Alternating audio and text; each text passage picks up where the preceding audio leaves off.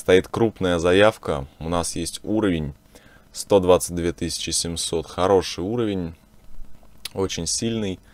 А, и на этом уровне объем. То есть ситуация действительно очень хорошая. Ожидаю сейчас отскока отсюда. Наверное, а, первая цель я ее отметил. Обновление ближайших, а, ближайших максимумов. Вот, то есть там, я думаю, мы закроем большую часть нашей позиции. Остатками уже будем высиживать на полноценный разворот. Что касаемо уровня. Что касаемо уровня, давайте посмотрим. Уровень у нас очень сильный. Вот сами можете его видеть. Хороший V-образный разворот. И ожидаю сейчас отскока от этого уровня. А, что касаемо рисков. Риски у нас в данном, а, в данном случае минимальные. Риск у нас всего 20 пунктов. Всего лишь 20 пунктов.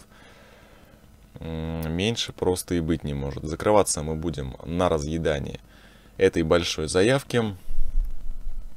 Вот. И в случае разъедания этой заявки мы еще и перевернемся, потому что это мощный, хороший уровень. За этим уровнем находятся стопы участников, и, соответственно, после разъедания этого объема будет резкий выстрел. На стопах, я думаю, нам тоже удастся что-нибудь там да подзаработать. Вот. Но, конечно, в первую очередь я бы хотел чтобы случился, конечно же, отбой от уровня, потому что в таком случае довольно высокий потенциал движения цены. То есть действительно отсюда цена может отскочить минимум на 1000 пунктов. Минимум. Как максимум на 2500 пунктов. Это, конечно, может быть, кто-то скажет, да, уже не совсем тема скальпинга, но я напомню, что, что сейчас все-таки особенностью скальпинга является не количество сделок, а их качество. И тут, кстати говоря, довольно большой вопрос получается насчет э, понимания рынка. Все же знают, да, что мы заходим от уровней именно потому, что на этих уровнях, уровнях э, есть крупные, большие участники, которые эти уровни защищают. Все про это слышали, конечно же, все это знают, э, но только почему-то никто не заглядывает в стакан. То есть все знают, что в теории там вроде бы кто-то должен быть, да, но если там действительно кто-то, никто Э, на это внимание не обращает. Мы же с вами скальперы, мы используем стакан как основной инструмент анализа рынка, мы заглядываем в стакан и понимаем, что действительно в данном случае на сильном уровне есть крупный покупатель, который будет, скорее всего, удерживать э, этот уровень. Соответственно, мы зашли в сделку с минимальнейшим риском, с минимальнейшим риском и попытаемся на этом заработать. То есть, в принципе, соотношение в данной сделке – а у нас будет, я думаю, где-то порядка 1 к 20, 1 к 25, и это минимум, это самый минимум. А, ни один стиль, ни один стиль вообще работы на бирже, кроме скальпинга, не позволяет заходить в сделки с такой ювелирной точностью, с таким маленьким риском, и самое главное, с таким хорошим соотношением риск-профит. Все это получается, как лично мне кажется, из-за непонимания рынка, потому что люди, которые прочитали какую-то книжку по теханализу, посмотрели, может быть, какие-то видеоуроки по теханализу, да, то есть, ну, большинство, да, большинство на рынке работает именно следующим образом. То есть они видят, что есть какой-то уровень, они видят, что от уровня происходит отскок. Вот обратите внимание, сейчас у нас уже идет отскок от уровня, да? Они увидели этот отбой от уровня, и только сейчас они бы зашли в данную сделку. Только сейчас они бы это сделали. А куда выставить свой стоп-лосс? За уровень. То есть они бы выставили его за уровень, при том не понимая, что ну, нет смысла выставлять его за уровень, если можно выйти в момент разъедания крупной заявки. То есть если крупного участника разъедают, то больше этот уровень никто не защищает. И находиться в сделке больше нет никакого смысла. Мы же с вами скальперы, мы заглядываем в стакан, мы понимаем, что если на уровне есть крупный участник, который будет защищать этот уровень, мы заходим на отбой от этого уровня. Если крупного участника разъедают и его больше нет, мы из позиции выходим. Дальше сидеть в позиции нет смысла, делать здесь больше нечего.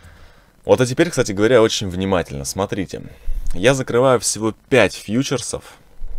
Сейчас меня закроют, я очень на это надеюсь. Да, меня закрыли. Вот обратите внимание, из 30 контрактов я закрываю всего 5, всего лишь 5 фьючерсов, минимальную часть. закрываю их в плюс 120 пунктов, а на секундочку, э, при том, что риск у нас всего 20 пунктов, 120 пунктов это уже соотношение 1 к 6. Давайте мы с вами посчитаем. Э, я закрыл всего 5 фьючерсов в плюс 120 пунктов, это получается плюс 600 пунктов. У нас осталось еще 25 открытых фьючерсов. На каждый из них риск у нас получается 20 пунктов. И что же мы с вами получаем? Что сделка уже закрыта в плюс. То есть даже если сейчас цена разворачивается и закрывает меня по стопу, в любом случае сделка у нас будет уже в плюс. То есть закрыв минимальную, малюсенькую часть на этом опять же маленьком отскоке, я уже полностью вывел свою сделку в безубыток.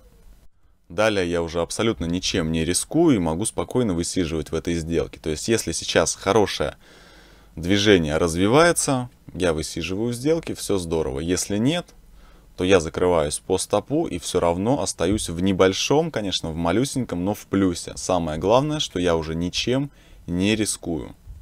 Так, у нас, у нас пошли какие-то активные продажи. На разъедание сейчас буду выходить, закрываю часть, еще часть. Сейчас буду выходить из позиции и переворачиваться, если еще пойдут крупные продажи. Так, выхожу и переворачиваюсь. К сожалению, не успел весь объем закинуть. И сразу же, сразу же давайте выставляем take. Take profit, сразу же часть позиции я закрываю в плюс небольшой. Все, тем самым я сразу же свою сделку очередную вывожу э, в безубыток. То есть сейчас, если на стопах улетает цена ниже. То есть, если, если сейчас развивается нисходящее движение, то мы опять же удерживаем нашу позицию. Если нет, мы закрываемся в ноль. Вот. Ну и с учетом уже того, что часть позы у нас уже закрыта в плюс, мы ничем не рискуем абсолютно. Вот. Ну, как мы видим, цена резко вкатывает, и, наверное, здесь позицию мы нашу ликвидируем. Пока что не знаю, закрывать или нет.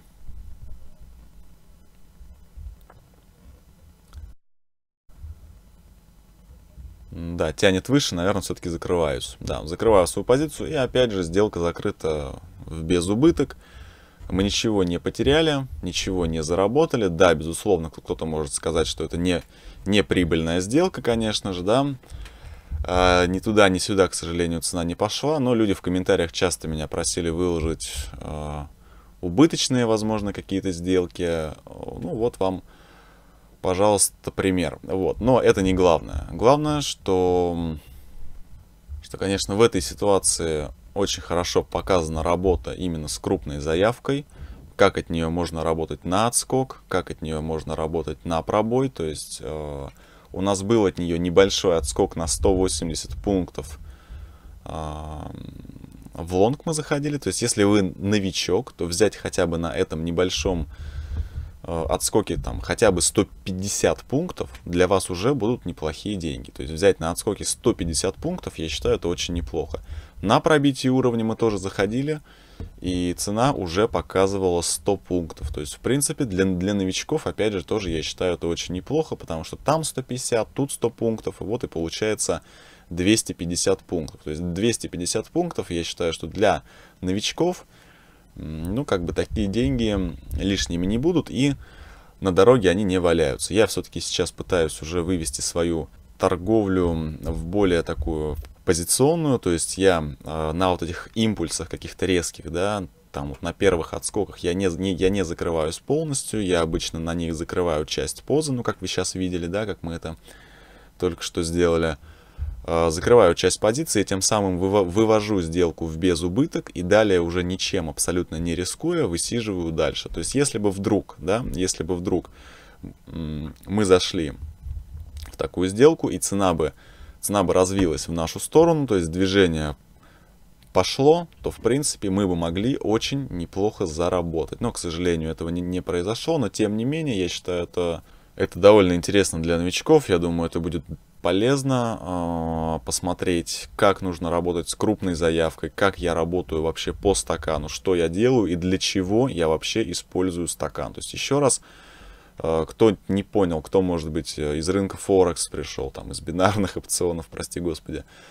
Э, кто не знает, что такое стакан, посмотрите мое видео. Если вкратце, то мы используем стакан для того, чтобы определять